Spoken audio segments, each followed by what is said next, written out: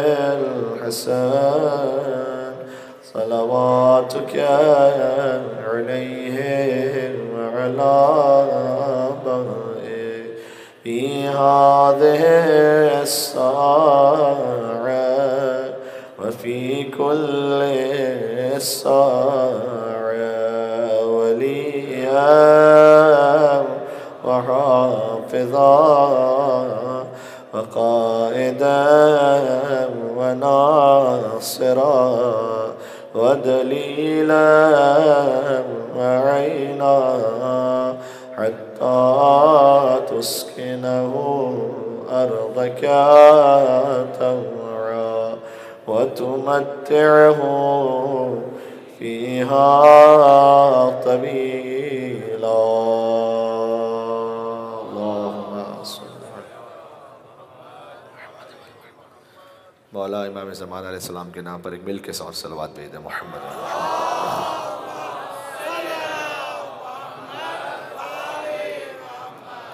रहमतुल्लाहि अला मुहिब्बिहिम वल्लअनतुद्दाइमतु अला अअदाइहिम अजमईन मिनल अज़ल इला क़ियाम यौमिद्दीन अम्मा बअद फ़क़द क़ाल अल्लाहुल हकीम फ़ी किताबिहिल मजीद बिस्मिल्लाहिर रहमानिर रहीम वजअलनाहुम अइम्मतन यहदून बिअमरिना वअवहैना इलैहिम फ़िअलल खैरात वइक़ाम अस्सलात व ईता अज़्ज़कात व कानू लना आबिदीन सल्लल्लाहु अला मुहम्मद व आले मुहम्मद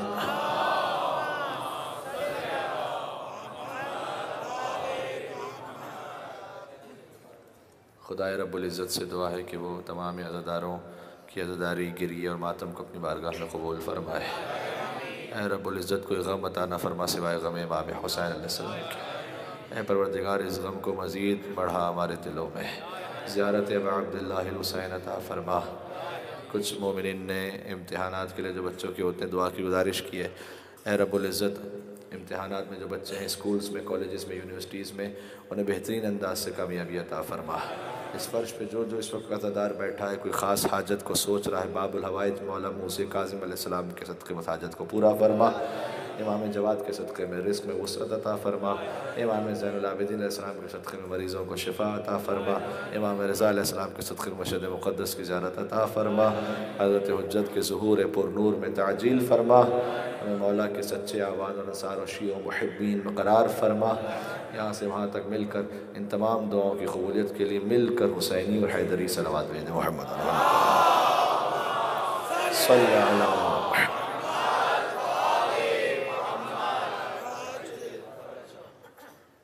गुफ्तु शजर तय्यबा के मौजू पर होते होते मुख्तलिफ़ मलाहिल से गुज़रते हुए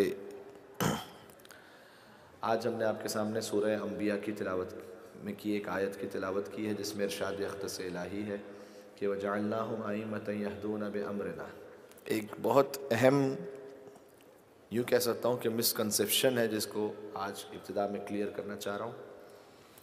ये मिसकनसप्शन कुछ हमारे अपने मोमिन में भी है कम से कम बातों में आ जाता है ज़बान पर और हमारे और मुसलमान भाइयों के जहनों में भी हो सकता है। इसलिए मैं चाहता हूँ कि आज इतने इस मरकज़ी इज्तम से इस मिसकनसप्शन को जो कि इमाम हुसैन आसमाम के हवाले से शायद हो सकता है उसे वाज किया जाए। आयत पहले सुन लीजिएगा। वजालना हम आईमत यहदून अब अमरना हमने इमाम करार दिया है, अल्लाह कह रहा है। हमने इमाम करार दिया है कुछ बनी इसराइल के अम्बिया की तरफ़ ये ज़मीर जा रही है। वजालनाहम उनको इमाम करार दिया है। हज़रत इब्राहिम के लिए तो वाज तौर पर फरमाया कि इन्नी जायलो कल ना से इमामा, हमने इब्राहिम को इंसानों का इमाम बनाया।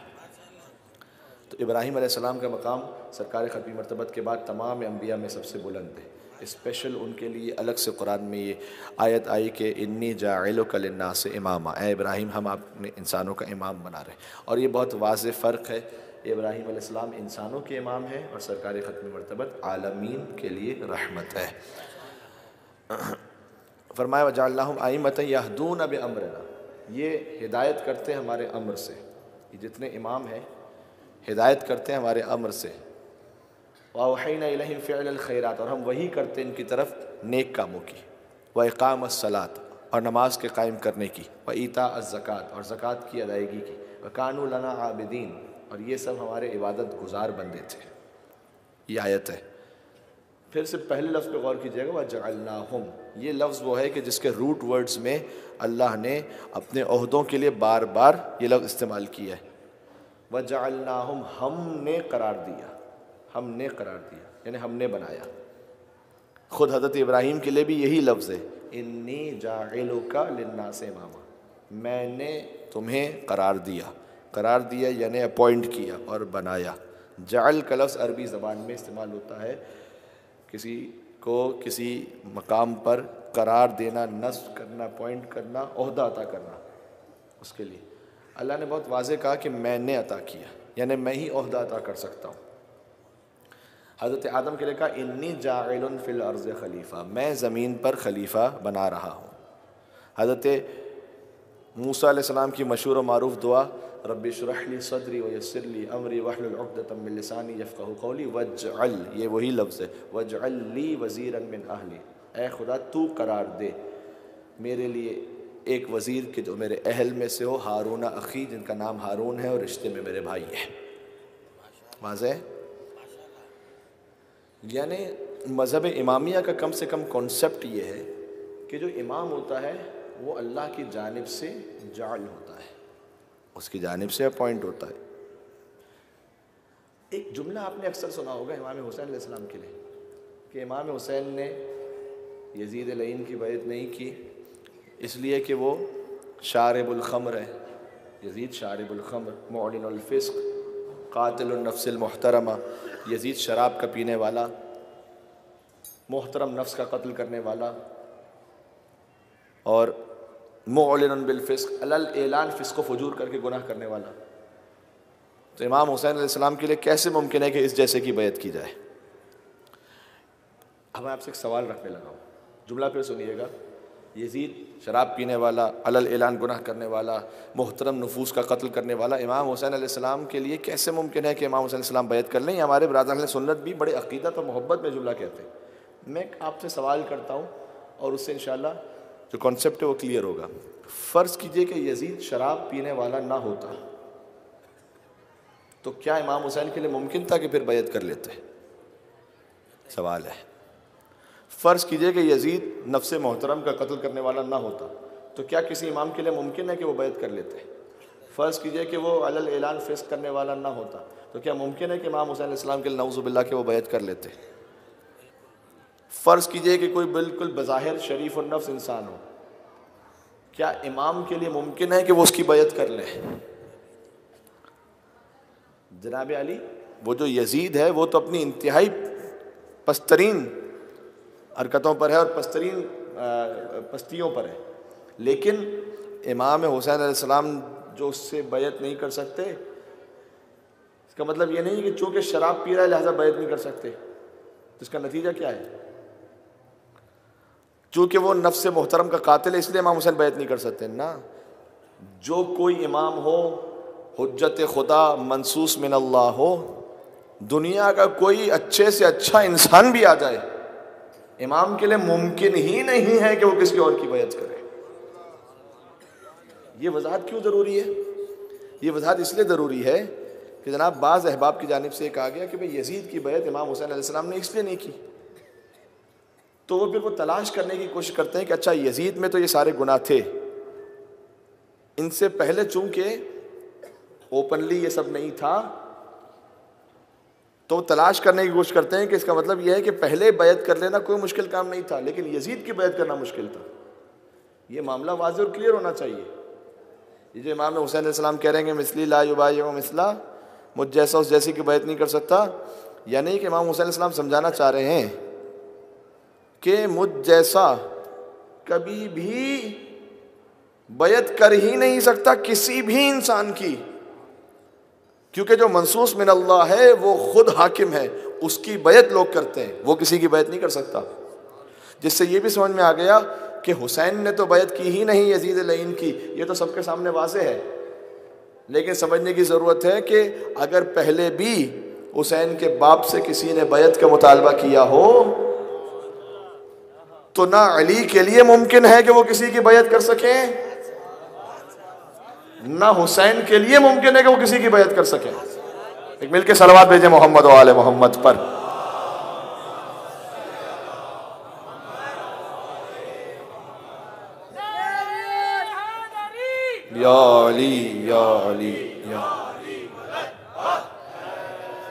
बात वाज हो रही है? जिंदाबाद। मुर्दाबाद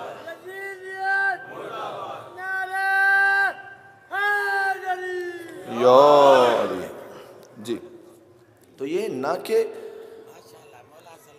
यानी किसी भी इमाम के लिए मुमकिन ही नहीं कि वो किसी की बैत करे। इस खातिर है कि ये कॉन्सेप्ट अगर है तो मुकम्मल तौर पर कंप्लीट कॉन्सेप्ट नहीं है कि इमाम हुसैन ने बैत नहीं की। अगर हम आगे जुमला ये बढ़ाते हैं कि चूँकि बैत नहीं की, इसलिए कि वो यजीद शराब पीने वाला है। इमाम हुसैन इस्लाम किसी की भी बैत नहीं कर सकते, चाहे वो शराब पीने वाला हो कि ना हो।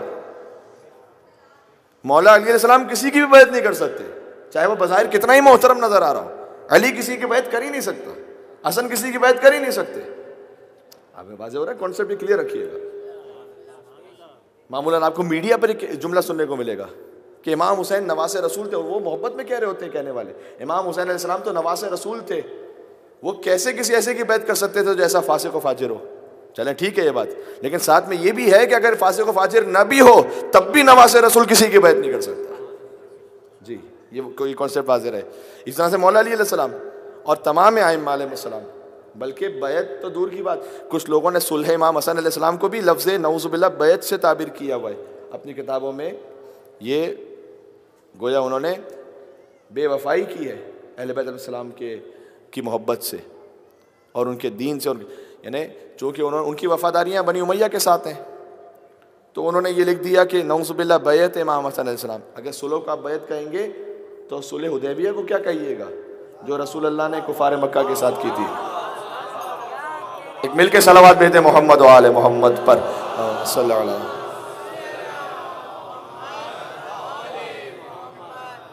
क्लियर लिहाजा बैत का सवाल ही कोई तस्वुर ही नहीं है। और ये फ़र्स्ट टाइम आयम की हिस्ट्री में हुआ कि बराह रास्त इमाम हुसैन से बैत मांगी गई। इससे पहले इस तरह से यूँ बैत का मुतालबा नहीं किया गया। इमाम हुसैन सलाम ने वजीम शान जिहाद फरमा की कुर्बानी दे दी और ये चैप्टर हमेशा के लिए क्लोज फरमा दिया।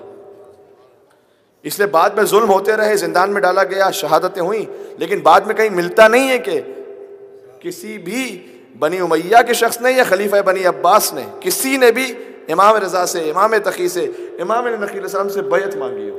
इसलिए कि पता था कुछ हो जाएगा, बैत नहीं करेंगे। इसलिए बैत का तस्वुर ही मुमकिन नहीं है कि इमाम हुसैन बात बाजी हो गई इन से। अब, बल्कि बैत तो दूर की बात है। इमाम हसन सलाम का वो मुकालमा जो हाकिम शाम के साथ है, बड़ा प्यारा है, आप उसको लुत्फ महसूस करेंगे। जब हाकिम शाम ने यह प्लान बनाया था कि हर एक हसन के सामने अपने बाप दादा का ज़िक्र करे और फ़ख्र के साथ कहे कि हमारा बाप हसन फ़लाँ कबीले का सरदार था, उसके पास इतने दिरहम थे, इतने दीनार थे, इतने बकरियाँ थीं, इतनी जायदाद थी। हसन के बाप के पास तो ये बाहिर कुछ है ही नहीं, ये तो चुपचाप सुनते रहेंगे। और उसके बाद इमाम हसन सलाम ने कहा कि, या अहल शाम, ए शाम वालों वल्लाजी ला खुदा की कसम के जिसके लिए, इसके सिवा कोई मबूद नहीं। लवकुन तो अलहाज़लमकाम हौलन फ़हौलन फ़ास्कुरमा अतानी अल्लाह मिनफ़ल से है तुम लोग अपने बाप दादाओं की बात कर रहे हो अगर मैं इस मकाम पर खड़े होकर साल हा साल तक हौलन फ़हौलन साल हा साल गुजरते चले जाएँ फ़ास्कुरमा अतानी अल्लाह मिनफ़ल मैं वो फ़जीलत ज़िक्र करता जाऊँ जो अल्लाह ने हमें अता की है तुम लोगों ने नहीं अल्लाह ने हमें अता की है ओह से है हसन मुशतबा कह रहे हैं जो ख़ुद लिसानुल्लाह का बेटा है ये कोई आम मुझ जैसा फ़कीर मौलवी नहीं कह रहा, हसन कह रहे हैं कि अगर मैं भी ज़िक्र करता चला जाऊँ, साल साल तक तो मैं ज़िक्र करता चला जाऊँगा। साल ख़त्म होते चले जाएँगे। हमारी फजीलत ख़त्म होने वाली नहीं है। ठीक है?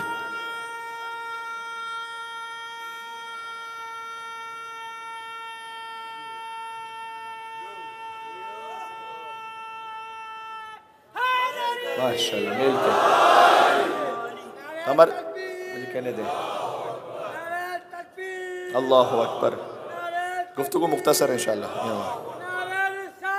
या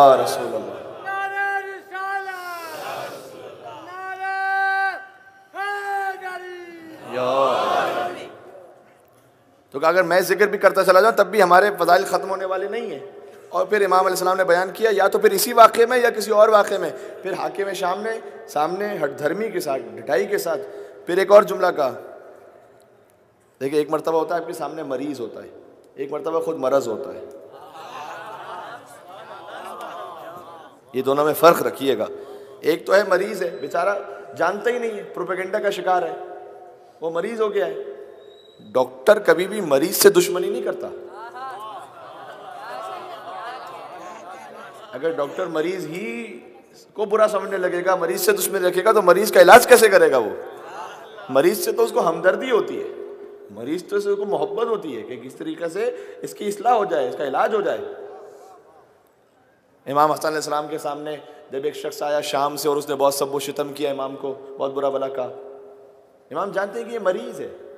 ये बेचारा प्रोपेगेंडे का शिकार है, इसने कभी हमारे अहवाल के बारे में सुना ही नहीं है। शाम वालों के बारे में सुना इसने हमेशा। तो वो हमारे बारे में सुन के आया तो यही कहेगा मुझे। इमाम को कहता रहा, सारा सब शितम कर दिया तो इमाम ने आखिर मुझसे कहा कि क्या तू मुसाफिर है तो पनाह चाहिए तो तुझे पनाह दूँ। अगर खाना नहीं है तो खाना दूँ। पानी नहीं है तो पानी ये देखें अखलाक अखलाक। पानी नहीं है तो पानी दूँ। तो उसने कहा, आप वही हसन इब्ने अली जिनके लिए मैं सबसे शब शितम कर रहा था। आप वही हसन है? कहा, जी, मैं वही हसन हूँ। कहा, जब मैं शाम से आया था तो मेरे दिल में आपसे बुरा कोई था नहीं। और जब आपसे बात की तो आपसे बेहतर इस वक्त रूए ज़मीन पर को मेरे दिल में मौजूद नहीं है। सुबह ये इमाम हसन सलाम का वो अखलाक। देखें, यहाँ ये बात भी हो जाए। हमने दीन को बहुत मरतबा सिर्फ़ नमाज़ों में, रोज़ों में महदूद किया हुआ है। जबकि दीन दर हकीकत एक्चुअल अखलाक का नाम है। इन नमा बोतम मकार है अखलाक। हजू ने फरमाया था कि मुझे भेजा इसलिए गया कि मैं अपने, कि मैं तुम्हारे अखलाक को कमाल तक पहुँचाऊँ। इन नमा उत्तम में तमाम करूँ कंप्लीट करूँ तो वो मकार अखलाक जो तुम्हारे अंदर है। मौला कहते हैं अम्बिया को अल्लाह ने भेजा इसलिए यूसीर दफ़ा इनकूल जो तुम्हारी अकलों में छुपे हुए ख़जाने हैं अम्बिया उसको ज़ाहिर करते हैं। यानी पोटेंशल पहले से कोई भी इंसान फितरतन बेरहम नहीं होता। कोई भी इंसान फितरतन खाइन नहीं होता। अल्लाह ने फितरत कुल्ल मौलूदिन यूलफ़ितरा हर मौलूद फितरत इस्लाम पर खल्क होता है, अच्छी फितरत पर खल्क होता है। ये जो पहले से ख़जाने छुपे हुए हैं, मौला कायनात कह रहे हैं अल्लाह ने भेजा अम्बिया को इसलिए ताकि वो ख़जानों को उभार सके, तुम्हें पोटेंशियल को उभार सके। देखें छोटा बच्चा आगा मोहसिन कराती साहब ने एक अच्छी मिसाल दी। आपने हमेशा ये हदीस सुनी है कि हर बच्चा फितरत इस्लाम पर पैदा होता है, यानी उसकी फितरत अच्छी होती है। मसलन, मौलाना साहब, क्या इसकी कोई एग्ज़ाम्पल दीजिए? आप को बच्चा अपने को चॉकलेट दे कि इसे ज़रा संभाल के रखिएगा, अभी मैं आता हूँ। आपने कहा, बेटा, मैं संभाल के रखता हूँ, आ जाओ। वो वहाँ गया, आपने चॉकलेट खोल के खुद खा ली। बच्चा क्या करेगा? दो तीन साल का बच्चा भी होगा। रोएगा। ज़ाहिर सी बात है।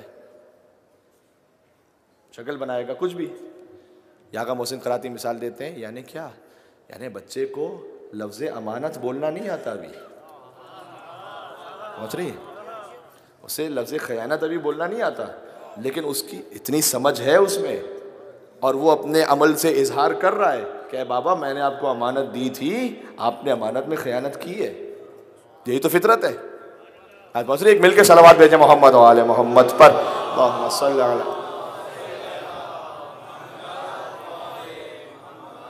ये मैं बिलखसूस माँ बाप से गुजारिश करूँगा, ख़ासतौर पर जो न्यू बॉर्न बेबीज़ के जो माँ बाप हैं और अभी भी उनकी ज़िंदगी पसंद आगे बढ़ रही है। जब तक आप अपने बच्चे से सच बोलते रहेंगे, वो बच्चा आप पे ट्रस्ट करता रहेगा। ये बात लिख लीजिएगा। जब तक कि उसे हमेशा ये महसूस होता रहेगा कि मेरे बाप सच बोलते हैं, उसका ट्रस्ट कभी भी खत्म नहीं होगा आप पर। उसका ट्रस्ट तोड़ने वाले खुद हम होते हैं सबसे पहले। खुद झूठ बोलते हैं, बाद में कभी ना कभी पता चलता है उसे। एक दफ़ा हुआ, दो दफ़ा हुआ, तीन दफ़ा हुआ, फिर आप सच भी बोलिए, मानने वाला नहीं है। या तो खामोश रहें या सच बोलें।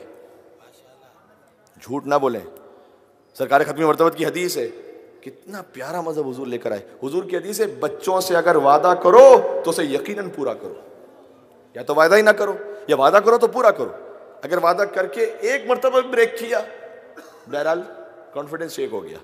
और उसके बाद आगे का कुछ नहीं पता कि वो ट्रस्ट करेगा, नहीं करेगा। ये जो अहतमाद बच्चों को होता है, हम खुद होते हैं।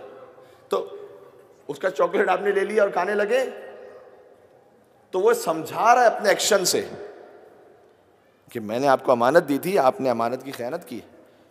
ठीक है? तो बच्चा जो है वो इस तरह से होता है। तो कुल्लो मौलूदिन यूल फित्र, हर पैदा होने वाला बच्चा फितर इस्लाम पर खल्क होता आगे हदीस में कि उसके माँ बाप उसे यहूदी या ईसाई बना देते हैं। बच्चे की जो कुछ फितरतें बहुत अच्छी हैं। और इसलिए कहा गया कि बच्चों की आदतों को अपनाओ। बच्चों की एक आदत क्या है?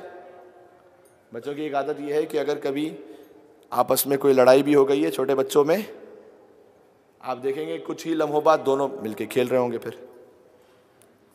दिल में कीना नहीं रखते। ये बड़े हैं, जिनके साथ ये मुश्किल है। एक अगर किसी ने कोई जुमला कह दिया है तो याद रहेगा जब तक कि उसका बदला ना चुकाए। ठीक है? जुमला कहना तो दूर की बात है कि मतलब हम उनके प्रोग्राम में गए, हम उनकी यहाँ शादी में गए, किसी तकरीब में गए। उन्होंने तो हमें सही था रिसीव ही नहीं किया। रिसीव करना तो दूर की बात है, सबकी तो उन्होंने फ़ोटो खिंचवाई, हमारी तो फ़ोटो ही नहीं खिंचवाई। लो भाई, इस पर झगड़ा शुरू। ये कोई बात है झगड़ा करने की भाई?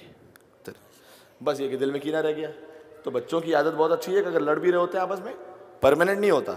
थोड़ी देर बाद आपस में खेलने लगते, दिल में कीना नहीं रहता। तो बच्चे बहुत अच्छे हैं, मुश्किल ये कि जल्दी बड़े हो जाते हैं। हमें देखिए तो जो मैं मैं कहना चाह रहा हूँ कि एक मरतबा होता है जहाँ से बात शुरू हुई थी। कि एक मरतबा यह है कि आपके सामने एक शख्स ऐसा है, मरीज़ है और मरज़ है, दोनों में फ़र्क है। इमाम हसन सलाम के सामने जब वो शख्स आया, इमाम ने उसे क्या कहा? इमाम ने उसे कहा कि अगर तेरे पास खाना नहीं है तो खाना दूँ, पानी नहीं, पानी दूँ। अखलाक से मुतासर हो गया। हुजूर ने फरमाया था कि मैं आया ही इसलिए हूँ कि तुम्हारे अखलाक को बेहतर बनाऊँ। एक हदीस और सुनिएगा, फिर मैं उस मौजू पे फिर से आता हूँ। मौला अली सलाम के पास एक शख्स आया, मौला के नाम पर एक सलवाद भेजे मोहम्मद वाले मोहम्मद पर।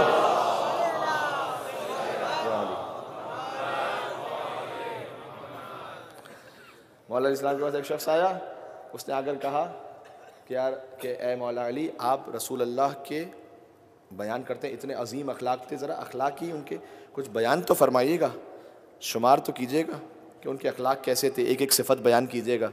मैं सुनना चाहता हूँ। तो मौला अली ने जवाब दिया कि अल्लाह ने पहले तुझे जो नेमतें दी हैं तो उसको शुमार कर, मेरे सामने। उसने कहा, अल्लाह ने मुझे वजूद दिया है। मौला ने कहा, और साँसें अता की हैं, और सांस आ रही, सांस नहीं कह रहा, सांस कह रहा हूँ, नहीं। तो आ रही, कुछ लोग पता नहीं नेमत समझे, ना समझे, इसलिए मैंने कहा कि क्लियर कर दूँ। तो अल्लाह ने जो है ना वो सांस अता की है, और आ रही है, और जा रही है सांस। और फिर वजूद अता किया, जबान अता की आँखें अता की कान अता की नाक अता की कहता रहा कहता रहा कहता रहा, मौला कहते, और और और और और। आखिर में कहा कि, याली, इस तरह से तो पता नहीं कितना, मैं तो शुमार ही नहीं कर सकता। ये तो आप मुझसे पूछे चले जा रहे हैं। तो मैं तो आपसे सवाल पूछने आया था कि रसुल्ला के अखलाक बयान कीजिए, आप तो मुझे ये पूछे जा रहे हैं। मौला ने कहा कि, जो तू, जो मुझे नेमतें गिनवा रहा है और आखिर में आखिर में कह रहे मैं बयान नहीं कर सकता, जबकि अल्लाह ने कुरान में कहा, कुल मताओ दुनिया कलील, दुनिया की नेमतें तो बहुत कम है। अल्लाह ने उसके लिए कलील का इस्तेमाल किया है। और जब अपने हबीब के अखलाक की बात की, फरमाया कि नकल आला खलुक अजीम। आप अखलाक के अजीम दर्जे पर हैं। जब तू कलील नेमतों को गिन नहीं सकता तो मैं मुस्तफ़ा के अजीम अखलाक को कैसे गिन सकता? अल्लाह अकबर।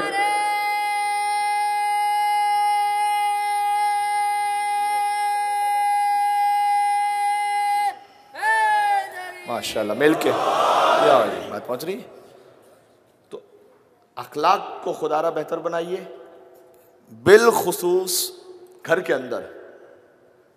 यह मैं आप तमाम से दस बस्ता गुजारिश कर रहा हूँ। घर के अंदर अखलाक अच्छा हो, ये सबसे ज़्यादा ज़रूरी है। घर के बाहर तो बहुत से अच्छे होते हैं। घर के बाहर दोस्तों के साथ बहुत अच्छे हैं। बिज़नेस में बहुत अच्छे हैं। जॉब पे बहुत अच्छे हैं। शॉप पे बहुत अच्छे हैं। क्योंकि वो कस्टमर इथिक्स है। वरना कस्टमर डिस्टर्ब होगा। ये अखलाक इसका मतलब कुर्बत अल्लाह नहीं है। तो कस्टमर के लिए, इसमें कौन सा कमाल हो गया? इसमें कौन सा सवाब हो गया? उसकी सारी बातें इसलिए सुनते हैं कि भाई कस्टमर बना रहे। असल अखलाक तो घर में है, बीवी के साथ, बच्चे के साथ माँ बाप के साथ बहन भाई के साथ। कुछ लोग होते हैं घर के बाहर बहुत अच्छे, घर के अंदर पहुँचे, सद्दाम। बीवी पर चीखा, दो बच्चों को थप्पड़ लगाए। बच्चे आन, बाप के आने से पहले एकदम डर के बैठे हुए हैं भाई। तो फिर नमाजें रोज़े वगैरह इससे कोई तबलीग नहीं हो सकेगी। जब तक अखलाक सही नहीं होगा तो। ठीक है? तो इसके लिए आज के वैलिस का ये बहुत ही इंपॉर्टेंट मैसेज है। और अभी मैं मज़िल मसाइब से दूर हूँ लेकिन मसाइब का जुमला जो हमेशा आपने सुना है मैं फ़जाइल में पेश करना चाहता हूँ ज़रा सुनिएगा बहुत इंपॉर्टेंट है। इससे बेहतर किसी की शान और फजीलत और मनकबत बयान नहीं हो सकती थी, जो हुसैन इबन अली ने अपने अकबर के लिए बयान फरमाई, कि अल्लाहुम्मा इशहद अलाकौम कद गुलाम अशबहन्नास खलकन व खुलकन व मंतकन बे रसूल परवरदिगार, गवाह रहना कि अब वो जा रहा है कि जो सूरत में और अखलाक में, सीरत में खल्क है, सूरत, और खुल्क है, सीरत।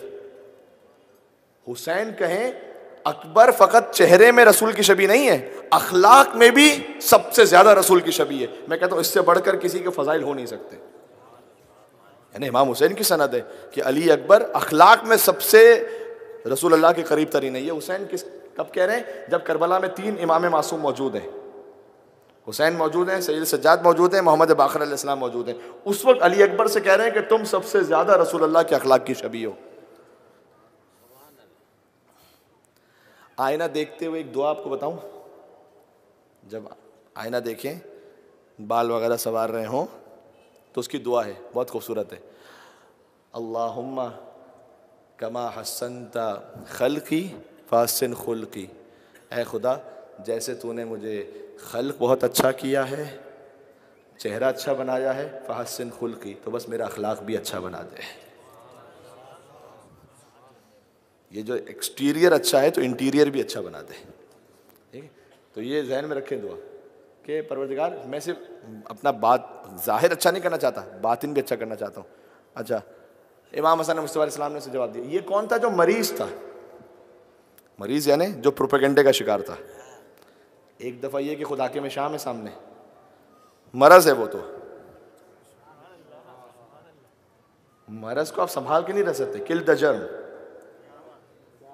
उसे तो ख़त्म करना पड़ेगा जर्म को। इमाम हसन इस्लाम ने जब उन्होंने अपने बाप दादाओं का कहा कि मैं भी अगर अपने बाप बाप दादा के फ़जाइल और अपने फ़जाइल जो अल्लाह ने हमें अता किए, अल्लाह ने अता किए, तुम वो हो, ये जो कहानियाँ सुनाई जा रही हैं, ये खुद साख्ता घड़ी हुई है। हमें जो अता किया अल्लाह ने अता किए। मौला कायनात ने भी तो यही कहा था, जब इबन अब्बास आए कि मौला, अब आप खिलाफत कबूल कर लीजिए, आपकी ज़रूरत है। मौला ने कहा कि, तुम्हारी दी हुई खिलाफत की हैसियत तुम जो दे रहे हो। अली की निगाह में फटी हुई जूती से ज़्यादा हकीर है। तुम क्या दे सकते हो अली को? अब मैं जुमला कहना चाहता हूँ, काश जिस पहुंचाना चाहता हूँ, पहुँच जाए। ये अली ने क्यों कहा कि तुम्हारी दी हुई खिलाफत की हैसियत, जो कि इतनी फैली हुई थी बज़ाहिर, ईरान तक है और रोम तक है और अफ्रीका तक है, कहाँ कहाँ तक ममलिकत इस्लामिया फैल चुकी अली कह रहे हैं, तुम्हारी दी हुई खिलाफत की हैसियत अली की निगाह में फटी हुई जूती से ज़्यादा अखीर है। क्यों कहना चाह रहे हैं? कहना चाह रहे हैं इसलिए कि खिलाफत पर कभी हक आया, कभी बातिल आया। इस जूती में सिवाय हक के कदम के और किसी का कदम नहीं आया था। मिल के सलवाद भेजते मोहम्मद वाले मोहम्मद पर। सलाम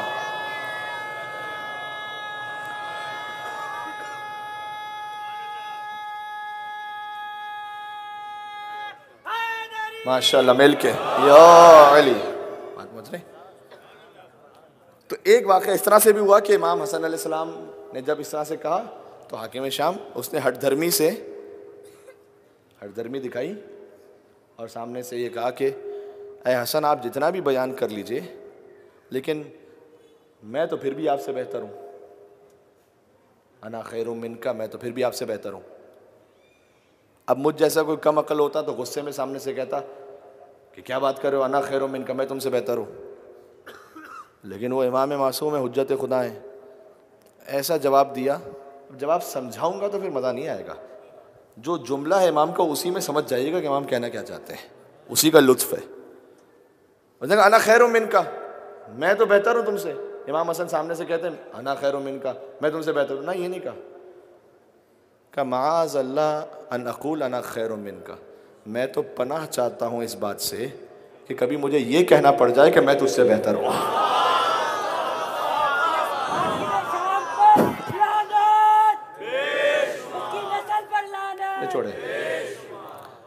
माद अल्लाह नकुल, अना खैर मिन। मैं तो अल्लाह की पनाह चाहता हूँ कि कभी मुझे ये कहना पड़ जाए कि मैं तुझसे बेहतर हूँ।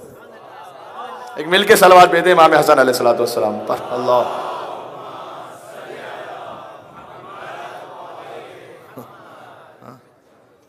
कोई कंपैरिजन भी हो तो सामने कोई बात तो हो, कोई लेवल तो हो कि मैं तुमसे बेहतर हूँ मतलब क्या है? ठीक है? बात पहुँच रही है? हाँ। तो इस तरह से जहाँ कहीं जैसे टैकल करने का मौका था, उस तरह से टैकल किया। तो आप भी इंशाल्लाह अपनी ज़िंदगी में इस तरह से करें। एक तो ये कि अखलाक अच्छा रखें, ये आज गुफ्तु का पैगाम हो गया। और घर में अच्छा रखें, ये मैं रिक्वेस्ट कर रहा हूँ आपसे। घर के अंदर अच्छा रखें। बाहर तो बहुत से लोग अच्छा रखते हैं, घर के अंदर अखलाक अच्छा रखें। सब्र रखें, ज़बान पे कंट्रोल रखें। और दुश्मन पहलाना और दूसरा कि सामने जो शख्स आ रहा है, उसके एतबार से उसे ट्रीट किया जाए। हर शख्स से हम कोई हेटरेट नहीं कर सकते। बहुत से दुनिया में ऐसे हैं, बेचारे, जिन तक सही मज़हब पहुँचा ही नहीं है। हम एक को अपना दुश्मन ना बना सकते हैं, ना ये कि सबको कह सकते हैं कि भाई सब जानना में जाएँगे। नौजबिल्ला इस तरह से नहीं। नहीं नहीं, ये गलत है तरीका। बल्कि ये है कि हाँ कितने ऐसे हैं कि जिन तक असल मैसेज पहुँचा ही नहीं है। अखलाक अच्छा रखेंगे तो अच्छा मैसेज पहुँचेगा। और शायद फिर कोई बात भी करेगा तो अच्छी बात पहुँच सकेगी। ठीक है?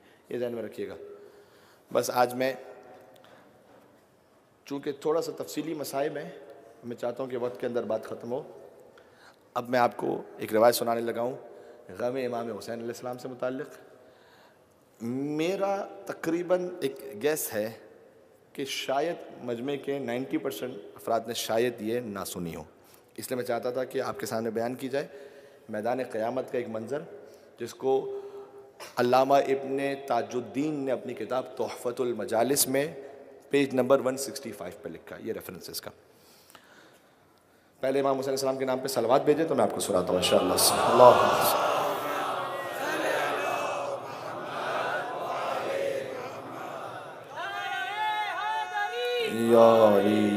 मिल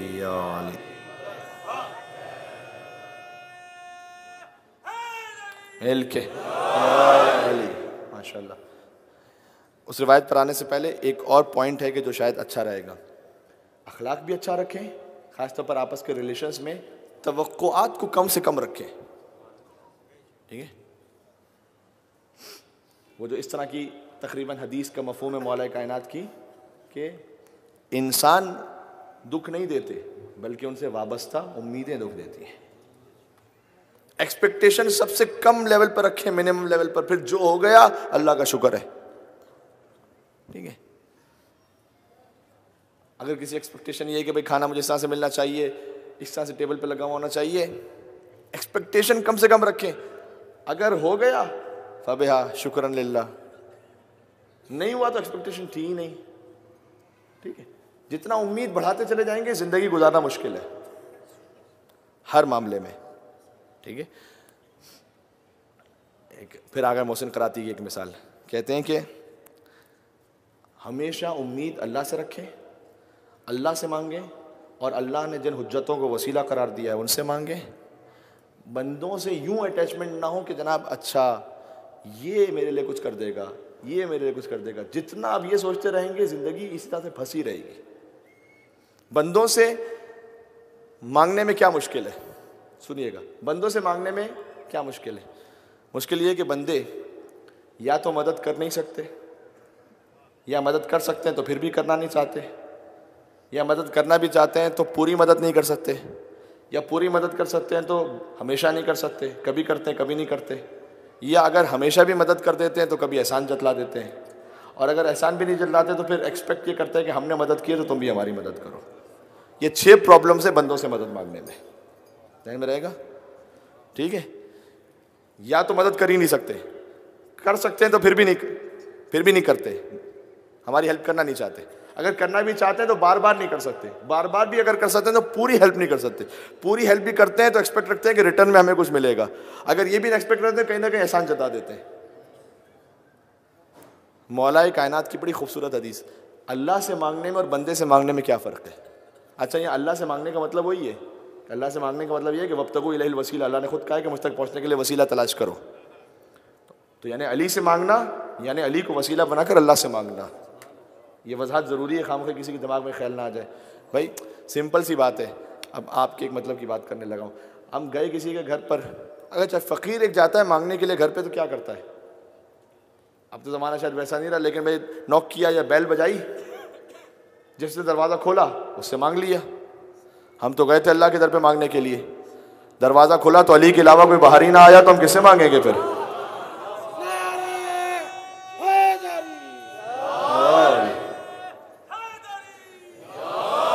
ठीक है।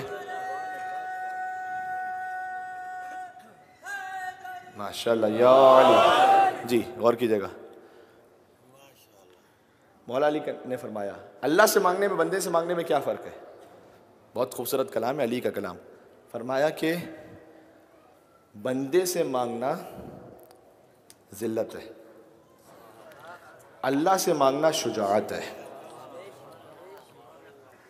वैसे आप झुकें तो ये ज़िल्लत की अलामत होती है। अल्लाह के सामने झुकें, ये शुजात की अलामत है। ठीक है ना? बड़े किरदार की अलामत है। फरमाया, बंदे से मांगना जिल्लत है अल्लाह से मांगना शुजात है। बंदा अगर दे दे तो एहसान है। अल्लाह अगर दे दे तो रहमत है। बंदा अगर न दे तो जिल्लत है, शर्मिंदगी है। अल्लाह अगर ना दे तो हिकमत है। ठीक है। तो अल्लाह दे या ना दे दे तो रहमत है, ना दे तो हिकमत है। बस। तो इस कॉन्सेप्ट को जहन में रखिएगा। अब आ जाइए।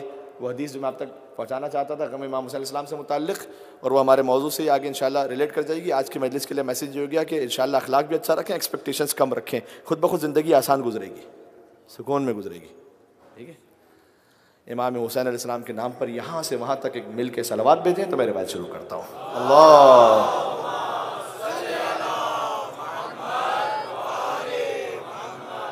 अजल फ़रज कभी कभी तो एक्सपेक्टेशन लोगों की आजकल डिजिटल वर्ल्ड है, ये भी हो जाती है। आपस के रिश्तेदारियों की मैं बात कर रहा हूँ। जनाब अली, उसने फ़ोटो डाली थी, मुझे टैग क्यों नहीं किया था? झगड़ा शुरू हो गया। मैं सही कह रहा हूँ आपसे?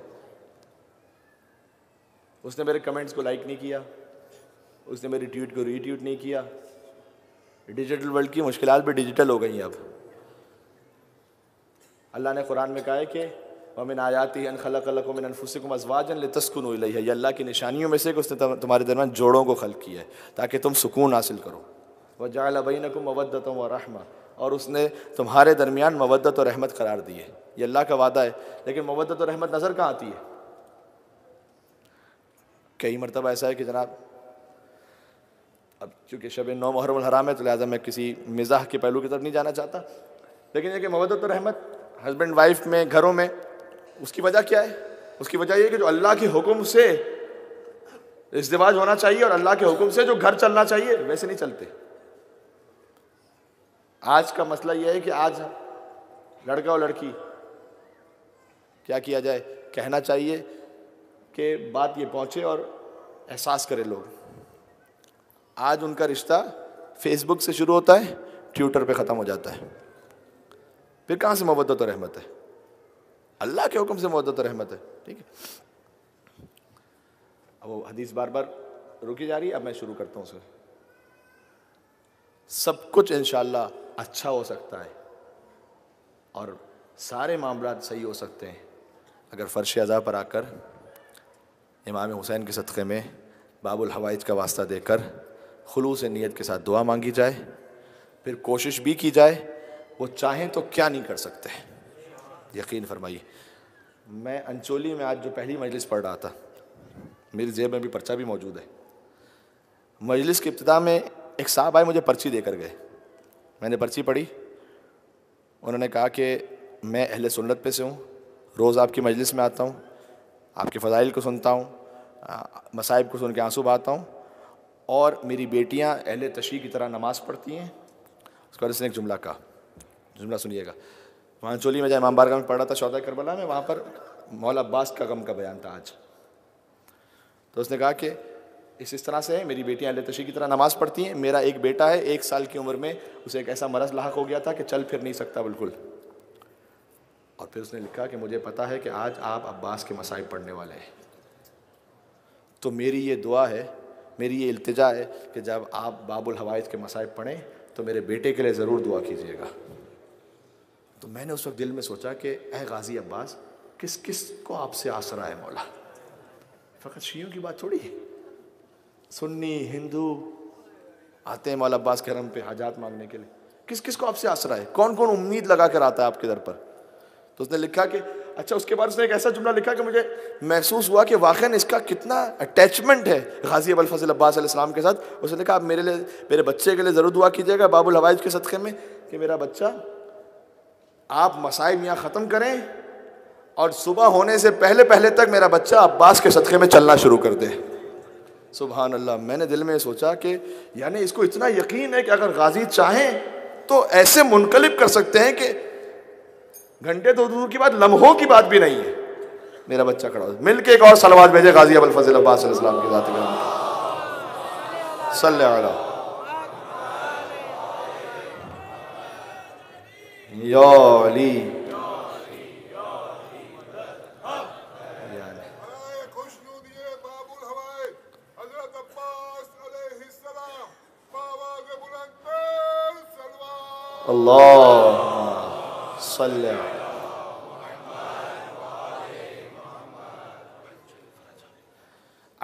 आयतुल्ला अब्दुल करीम कश्मीरी का भी वाक़ है कि उन्होंने देखा मौला अब्बास के अरम में एक ख़ातून है, अरब ख़ातून, जो उनके पास लोग आ रहे हैं तो इस्तारा देख रही हैं वो।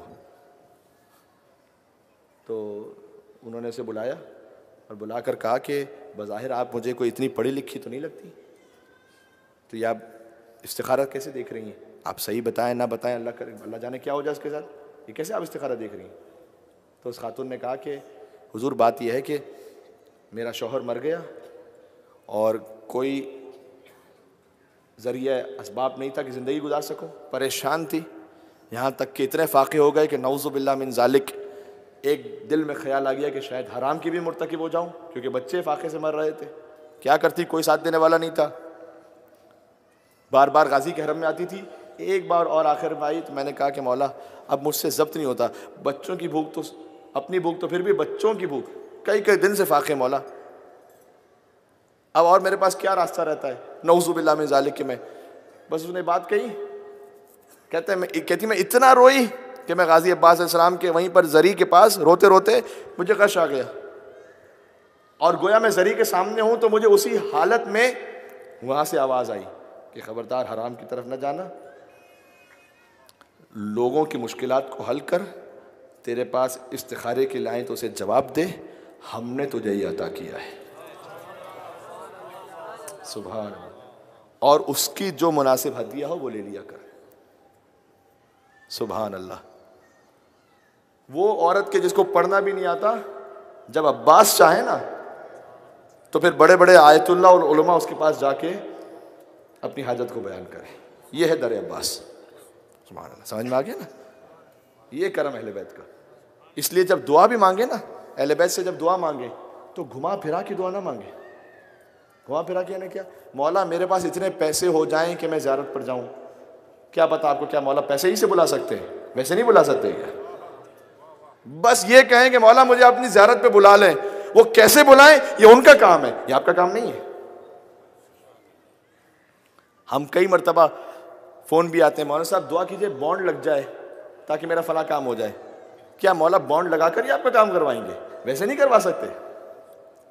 दुआ मांगे, मौला, मैं ये चाह रहा हूँ, जो बेहतरीन मसलहत में तरीक़ेकार है, वो कर दे, मेरा काम हो जाए। बाकी फिर वो कुछ भी करें, ठीक है? तो ये, अब ये तो हो गया दुनिया का मामला। इंशाल्लाह जब क़यामत में हम और आप पहुँचेंगे तो रेफरेंस मैंने दे दिया किस किताब से पढ़ रहा हूँ। जब क़यामत में पहुँचेंगे, एक शख्स को मलाइका या जुर्रू ना हो इलन्नार, ये लफ्ज़ है मलाइका जहन्नम की तरफ़ खींच के ले जा रहे होंगे। फ़ैज़ा बिन मिन अल्लाह की आवाज़ आएगी। रुक जाओ। लका अमानत इंदना। रुक जाओ, इसको रोको। मेरे पास इसकी एक अमानत रखी हुई है। मुझे यकीन है आप इसी में गिरिया शुरू कर देंगे, मैं मज़ल मसाइब पे चला जाऊँगा। मेरे पास इसकी एक अमानत रखी हुई है भी रुक जाओ। बाद में शायद मौका ना मिल सके। आप में से कोई मिल के एक हैदर नारा लगा दे ताकि मौका माशाल्लाह, मिल के। इस, अपनी हाजात के लिए याली कहिएगा इस पर।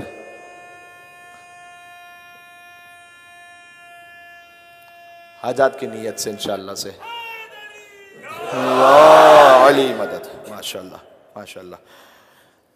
तो वो जहन्नम की तरफ़ जा रहा होगा? अल्लाह की आवाज़ आएगी, इसको रोको। लका अमानत इंदना। इसकी एक अमानत हमारे पास है। तो वो शख्स जवाब देगा कि अल्लाह इन्नी ला अस्कुरु इन्नी अस्तामन तो का अमानत ली अंदक परवरदिगार, मुझे तो कोई याद नहीं पड़ता कि मेरे, मैंने कोई अमानत तुझे दी थी। तो अल्लाह की आवाज़ आएगी सूर्य मुजादिला की आयत पढ़ेगा अल्लाह, कि आहसाह व नसूह। अल्लाह याद रखता है, तुम भूल जाते हो। और फिर सूर्य आल इमरान की आयत अल्लाह की जाने से पढ़ी जाएगी कि इन्नी ला ओज़ी अमल आमिल मिनकुम मिन ज़कर नसा मैं किसी भी मर्द या किसी भी औरत के किसी अमल को ज़ाया नहीं करता हूँ। एक है अमानत। तो वो शख्स थोड़ा सा हैरान परेशान होगा कि ये कौन सी अमानत की बात अल्लाह सुबहान तला कर रहा है। अल्लाह हुक्म देगा मलाइका को अमर हूँ अयातू ना हो बे अमानत अल्लाह मलाइका को हुक्म देगा कि इसकी अमानत लेकर आओ। वयातू ना हो बे संदूक तो वो एक संदूक को लेकर आएँगे उस शख्स के सामने। अल्लाह कहेगा, इसे खोलो। जब संदूक खोला जाएगा तो उसमें एक इंतहाई कीमती दुर होगा, मोती डायमंड कीमती इंतहाई। अच्छा ये जो कीमती दुर होगा, इस पर इसके तफसील यह है कि ये सुर्ख रेशम में लिपटा हुआ होगा, व उकदतुम मिनल हरीर अखजर, और उस पर मोहर लगी हुई होगी, सब्ज रेशम की एक शय की, यानी उस पर गिरह लगी हुई होगी। इंतहाई खूबसूरत। जन्नत का सुर्ख रेशम, जन्नत की सब्ज गिरा और कीमती तरीन मोती। और उस मोती के लिए लिखा हुआ रिवायत में कि तुजी अहलमाशर कमा योजी कौ कबुद्दुर अहल दुनिया। वो मोती अहल मैशर के लिए इतना ज़्यादा चमक रहा होगा जैसे कोई कौकब दुर्री दुनिया वालों के लिए चमका करता है। बेहतरीन जो रोशन तरीन सितारा अगर हमारे लिए देखें, वैसे चमक रहा होगा पूरा अहल मैशर। तो शख्स कहेगा कि परवरदिगार, ये जो मोती है, ऐसा तो किसी बड़े से बड़े दुनिया के बादशाह के पास ऐसा मोती था नहीं।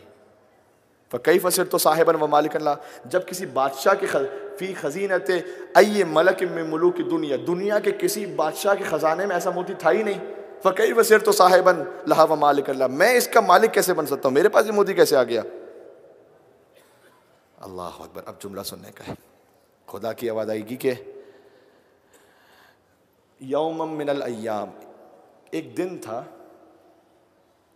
तू गुज़र रहा था।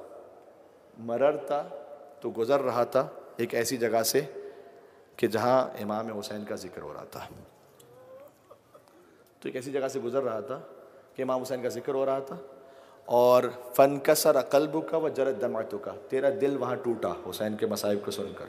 वह जरत दमातों का तेरी आँखों से आँसू भरे मैंने मलाइका को हुक्म दिया कि यहफुजुहा, इस आँसू को जमा कर लो। ले अशद दिन व अजद के मिनल जब इस पर बहुत सख्त मुसीबत का वक्त हो ना, फिर इसे वापस पलटाएँगे। सुबह ये वो आँसू है जो अब उस दुर की सूरत में मौजूद है। तो इसका मालिक है, क्योंकि तेरी आँखों से बहा था। अब जुमला सुनिएगा, अल्लाह क्या कह रहा है?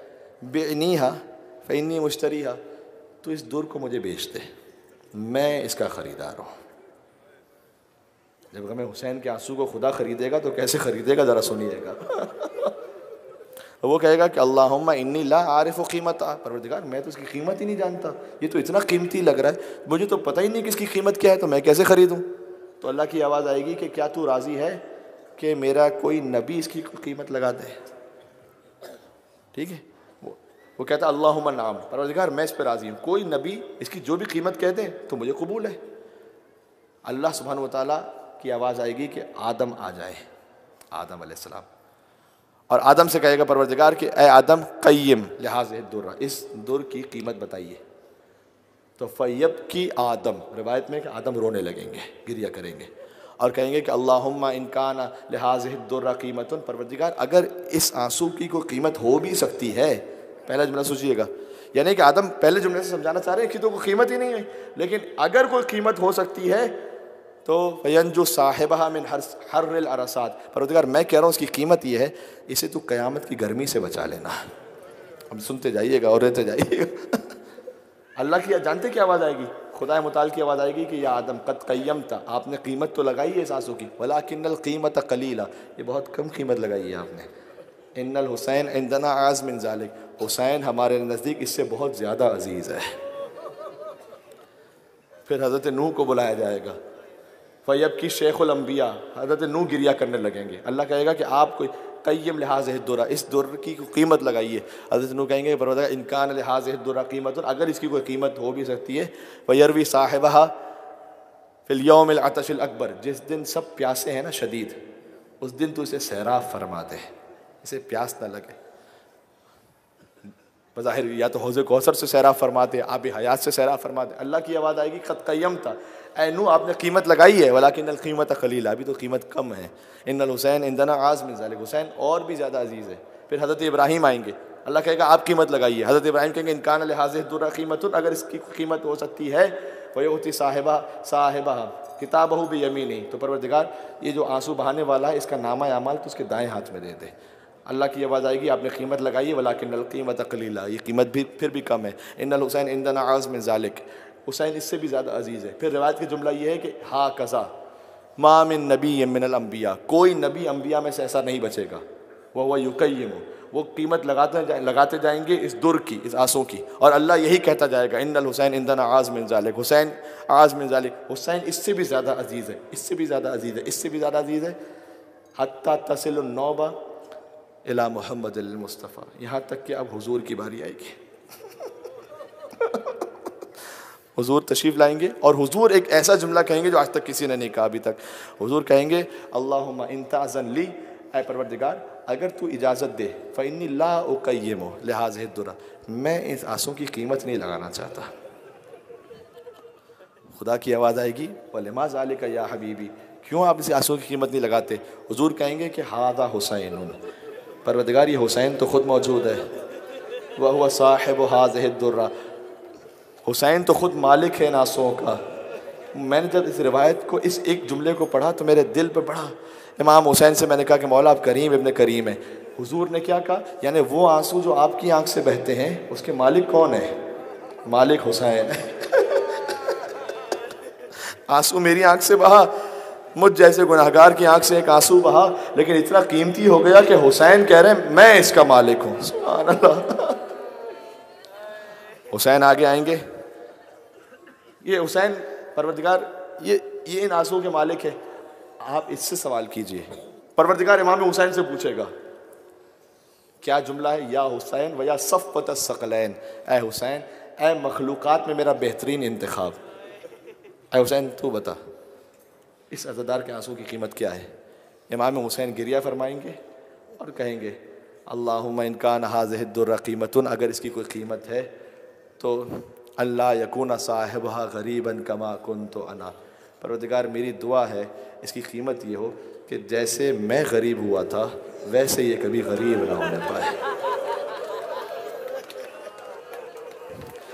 हाँ जजाकल्ला सदाएँ बुलंद हो गई, अभी तो मुझे दो जुमले और कहने हैं। वह अल्लाह यकून साहिब अच्छा कमा आतश तो आना और दूसरा परवरदिगार, ये कभी भी ऐसे प्यासा ना होने पाए, जैसे मैं प्यासा हुआ था। यकीन जानो, कोई भी आज़ादार हो, प्यासा कभी कभी हर एक हो जाता है, लेकिन कोई ऐसा प्यासा नहीं होता जैसे हुसैन प्यासे हुए थे। कोई कैसे ही गरीब हो जाए, कोई ऐसे गरीब नहीं होता जैसे हुसैन गरीब हुए थे। फरमाया कि परवरदिगार, वो अल्लाह यहरम अयाल कमा हरम तो अना। और परवरदिगार, तीसरी बात यह है कि ये कभी अपने बच्चों से ऐसे महरूम ना हो, जैसे मैं महरूम हुआ था। हुसैन जैसे सकीना से जुदा हुए थे। हुसैन जैसे अली असगर। खुदा की आवाज़ आएगी ए हुसैन, जो कुछ आपने कहा, वो हमने कबूल कर लिया।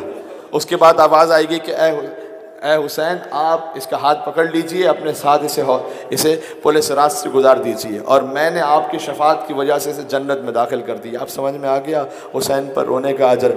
जहाँ आदम भी कहें तो अल्लाह का ये कीमत कम है नू कहें तो अल्लाह का कीमत कम है, इब्राहिम कहें अल्लाह की कीमत कम है। और जब हुसैन कहे, परवरदिगार, ये ऐसे गरीब ना हो। जैसे मैं हुआ। ये ऐसे प्यासा ना हो, ऐसे मैं हुआ। और ये ये जुमला मैं फिर से इसलिए कह रहा हूँ कि मेरे दिल को बड़ी चोट लगती है, कलेजा कट जाता है। हुसैन ने कैसे कहा होगा? ये ये ये मेरा आज़ादार, अपने बच्चों से ऐसे महरूम ना हो। जैसे मैं महरूम हुआ।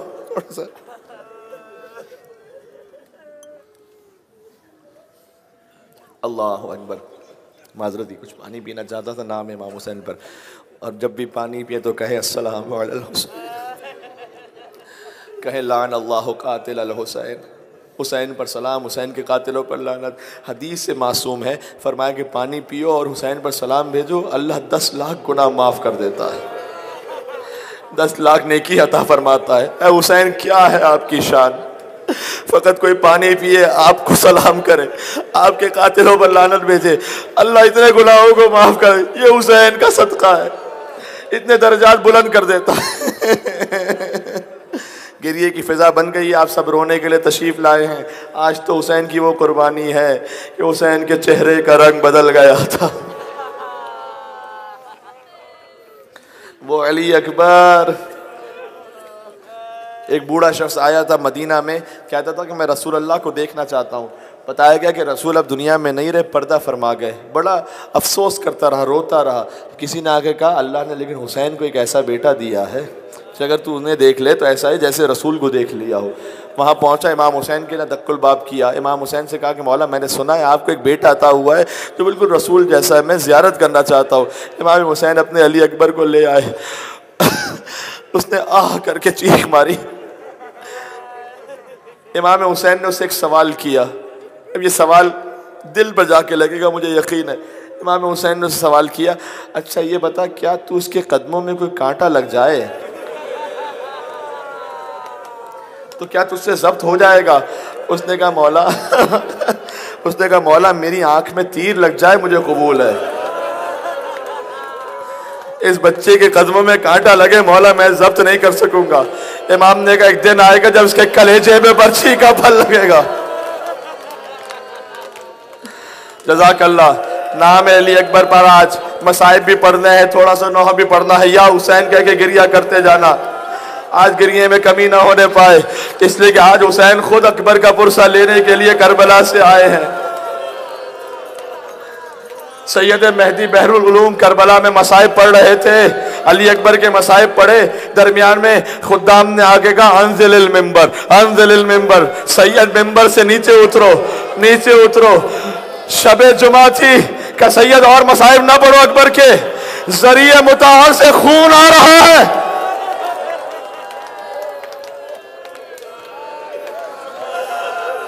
शब जुमा जब अली अकबर के मसाइब पढ़े जाएँ रिवायत पेश कर चुका हूँ ना, कि जब मुल्ला अब्बास ने हरम इमाम हुसैन में पहुँचे थे का मौला, मैं, समझ नहीं आता किस शहीद का पुरसा दूँ, मैं किताब खोलता हूँ, जो भी शहीद का पुरसा आ गया, वो पुरसा पेश करूँगा। और जैसे किताब को खोला तो शबी रसूल अली अकबर का मरसिया सामने आया। अकबर का मरसिया पढ़ा, जब घर पहुँचे, मुसाफिर खाने पहुँचे, आराम कर रहे थे, हुसैन तशरीफ़ लाए। कह, मुल्ला तेरा शुक्रिया, तूने मेरे मसाए तूने अकबर के मसाइब पढ़कर मुझे पुरसा पेश किया। जब वापस जाना, माजन दरान वहाँ एक शिया रहता है, नाम लिया इमाम ने। कहा उसे जाकर कहना, हुसैन ने तुझे सलाम कहा है। माशाल्लाह, ये स्काउट्स की खिदमत करने वाले, ये यहाँ पर सामने, मेरे सामने बैठे हुए खुदाम पता नहीं कौन कौन कहाँ हुसैन के नाम की खिदमत करता है, आप सब सुनिएगा और या हुसैन के गिरिया कीजिएगा। का उसे जाकर हुसैन के कहना, हुसैन ने सलाम कहा है। का मौला, आपने क्यों सलाम कहा है उसे? का जब भी कहीं मेरे नाम की मजलिस होती है, वो मेरे अजादारों की जूतियों को सीधा करके रखा करता है। उससे जाकर कहना, हुसैन ने तुझे सलाम कहा है। और है मुल्ला अब्बास, आइंदा कभी शबे जुमा मेरे हरम में अकबर के मसाइब ना पढ़ना। क्या मौला, मैंने गलत पढ़ा? खता हो गई कहा नहीं, तूने ठीक पढ़ा। लेकिन हर शबे जुमा मदीना से मेरी माँ। फातिमा जहरा मेरी जियारत को आती है, जब से तूने अकबर के मसाइब पढ़े हैं। फातिमा जहरा को गशा गया है।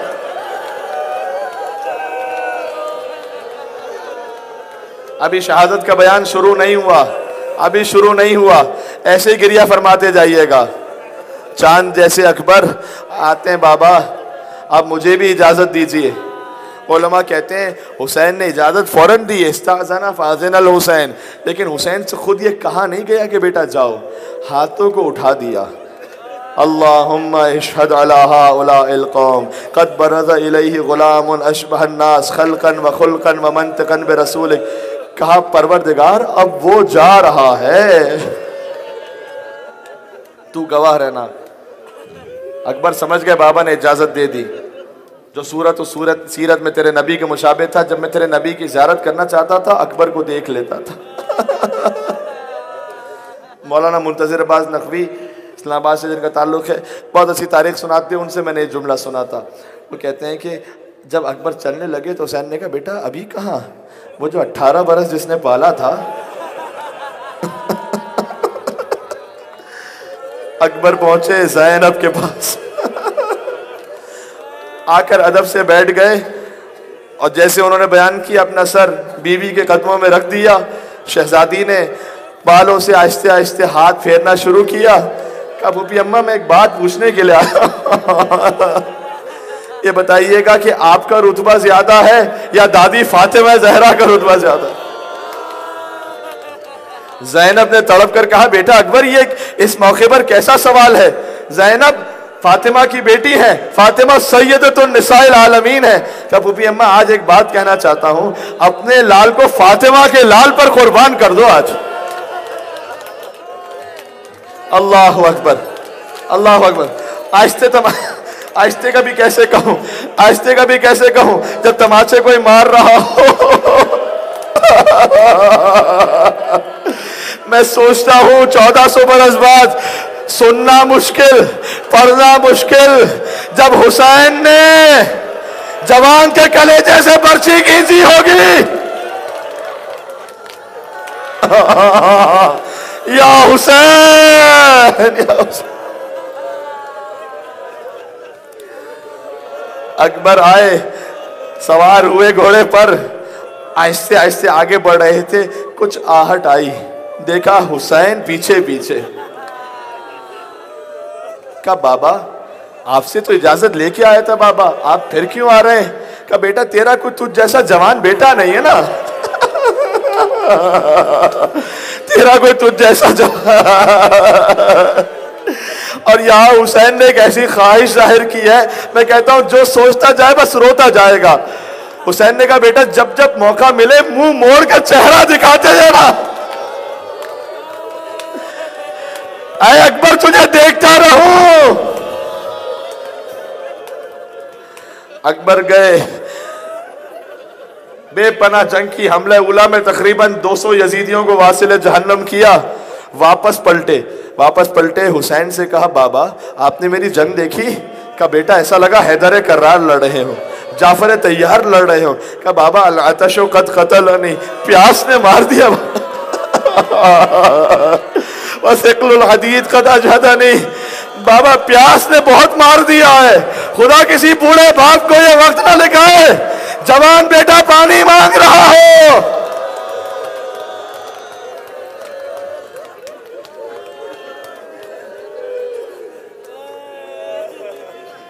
कल जाओ नाना रसूल अल्लाह सैराब फरमाएँगे। यहाँ उलमा कहते हैं, इसका मतलब क्या है? अकबर से कहना चाहते थे, बेटा, वापस पलट के नहीं आना। अब नाना रसूल अल्लाह ही तुझे सैराब फरमाएँगे। कोई अकबर फिर चले।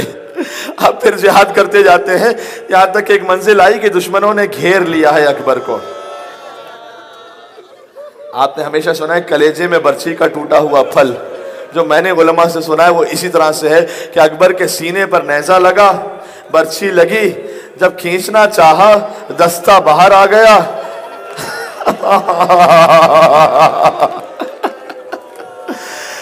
बर्छी का टूटा हुआ फल कलेजे में रह गया। अकबर ने अपने हाथ घोड़े की गर्दन में डाले। अकबर का घोड़ा दुश्मनों में घिर गया। फकतन इरबन इरबा। मख्तल में है, इतनी तलवारें पड़ी, अकबर का जिस्म कटने लगा। कटने लगा। अकबर ज़मीन पर गिरे। नहीं, मौलाना अजहर हुसैन जैदी साहब एक जुमला कहते थे, जब अकबर जिहाद कर रहे थे तो हुसैन रीत के टीले पर थे, अकबर को देख रहे थे। जैनब दर खैमा पर थी उनकी निगाहें अकबर पर, और उम्मे लैला मुसल्ले पर थी उनकी निगाहें जैनब पर। ये नज़रों का एक सिलसिला था।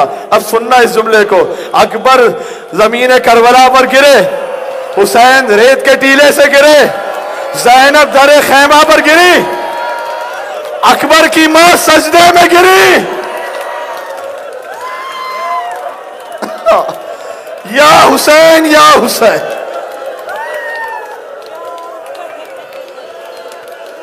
हुसैन अलई का मिन्न सलाम, बाबा आखिरी सलाम।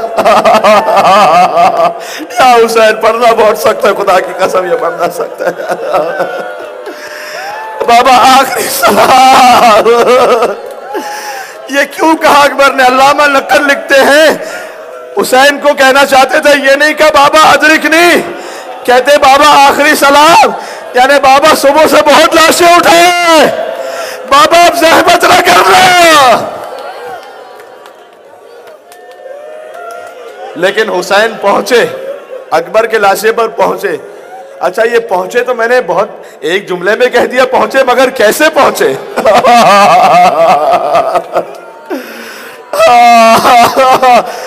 हुसैन घुटनियों के बल।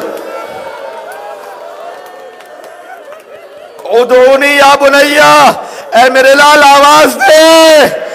आँखों में कुछ नज़र नहीं आ रहा। पहुँचे अकबर के पास। अब मक्तल का जुमला क्या है? जैसे हुसैन पहुँचे, कमाल मजलूमियत है ये। अला हुसैन ने अपना रुखसार अकबर के रुखसार पर रखा। का ए बेटा, तू दुनिया के गमों से आज़ाद हो गया। वक़्त बकी अबू का वहीदन फरीदन गरीबा, बाप को तना छोड़ गया।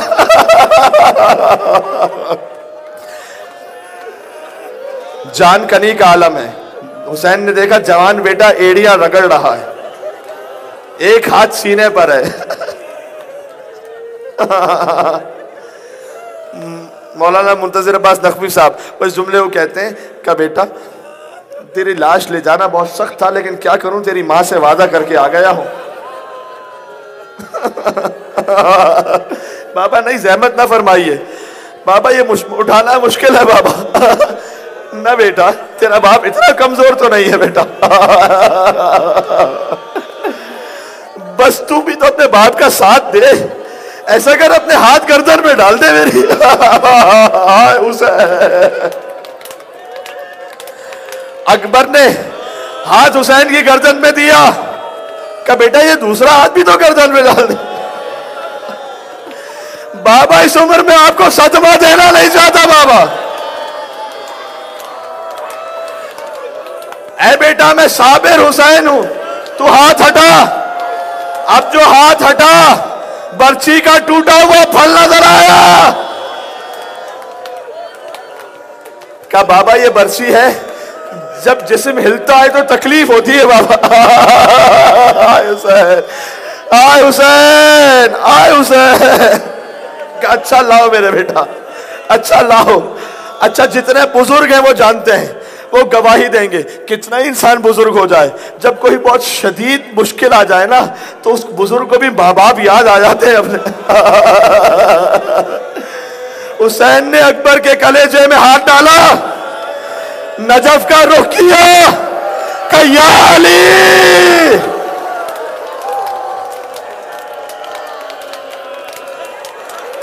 गोया सारी जन्नत अब हुसैन के पास सिमट कर है। गोया आदम भी हो नू भी हो, इब्राहिम भी हो। इब्राहिम कह रहे हो, ए आका हुसैन, जब मैंने इस्माइल को जिबा किया था ना तो आँखों में पट्टी बाँध दी थी।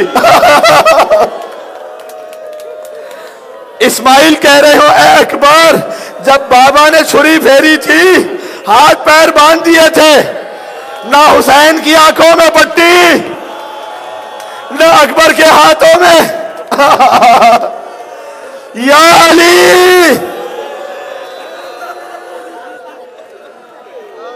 दरे खैमा से बीबी जैनब की आवाज़ आई। ये लाश अकेले ना उठा सकोगे। भैया, मैं आती हूँ मदद के लिए।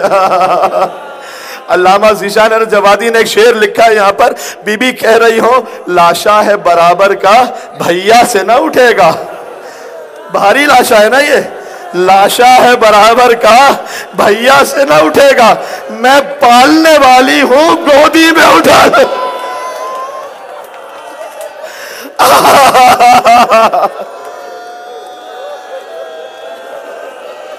मैं पालने वाली हूँ, गोदी में उठा लूँगी।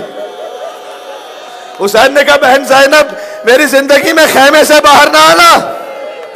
तेरे पर्दे पर अकबर कुर्बान किया। माए बहने जो सुन रही हैं, बगैर हिजाब के घर से बाहर ना आना। जैनब का दिल दुखेगा, अकबर का दिल दुखेगा। आखिरी जुमला और थोड़ा सा नोहा।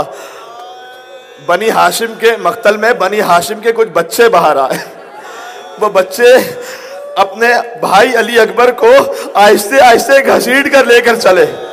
और हुसैन पीछे, या अली या अली या अली कहते हुए चले। अकबर का लाशा खेमे में पहुँचा। किसी ने मौला सज्जाद से पूछा था, बीबी जैनब की चादर सुर्ख क्यों थी? क्या सफ़ेद चादर न थी? मौला ने कहा था, जब अकबर का लाशा आया, जैनब ने अकबर के लाशे पर। अकबर से खून, अकबर के खून से जैनब की चादर सुर्ख हो गई। डॉक्टर कलबे सादिक साहब से जुमला सुना है। जब अकबर का लाशा आया, अकबर की माँ उन्हें कुछ नज़र नहीं आता था। खेमे के कभी एक तरफ़ टकराती थी, दूसरी तरफ़ जाती थी संभल ना पाती थी, फिर टकराती थी, कहती थी, बीबियों, मुझे पकड़ लो। मेरा अकबर मार दिया गया अकबर की माँ कहती थी, मेरा अकबर मार दिया गया।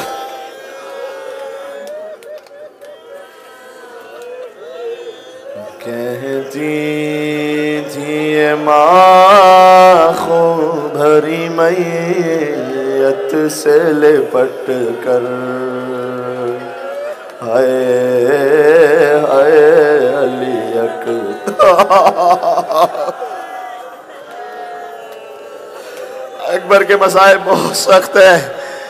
यही वो माँ थी कि जिसने राह कूफा में ईसाई औरतों ने कहा, खुदा कर इसकी माँ ज़िंदा ना हो। अकबर के सर को देखकर कहा, माँ ने कहा, इसकी माँ ने तेरा क्या बिगाड़ा है? कहा, नहीं, जो हमारी निगाह में चाँद का टुकड़ा हो, माँ की निगाह में आमातम करते जाना। कहती थी माँ भरी मैयत से लिपट कर हाय हाय, अली अकबर। हाय हाय, अली अकबर। सब मिलके अरमान था पहनाओगे पो शाक शहानी। किसी माँ का दिल ऐसे न टूटे जैसे अकबर की माँ अरमान था पोशाक शहानी। अफसोस के साई न तुझ को ये जवानी। कैसा था मुकद्दर? अये अये अली अकबर। बहुत गिरिया कीजिएगा इस पर। पहले तो एक आवाज़ पे उठ जाते थे बेटा। हुसैन कलेजा कट गया। पहले तो एक आवाज़ पे उठ जाते थे बेटा। अब इतनी सदाओं पे भी पहलू नहीं बदला। ये क्या हुआ दिल बर अये अये अली अकबर कहती थी ये माँ भरी मैयत से लेपट कर।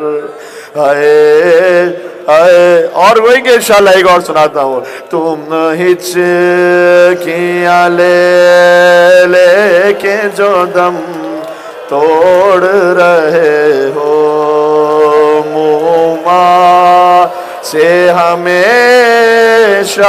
के लिए मोड़ रहे हो।